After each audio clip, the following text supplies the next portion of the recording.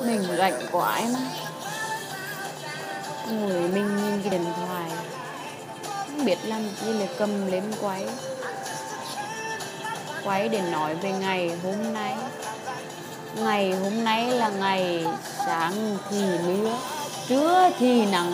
Tối chưa biết à rắn vì bây giờ đang là chiều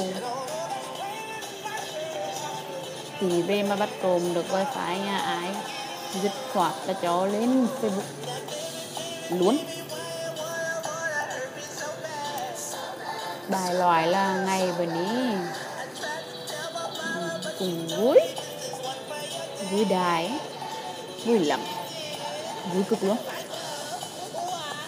Why? Why? Why? I I still love you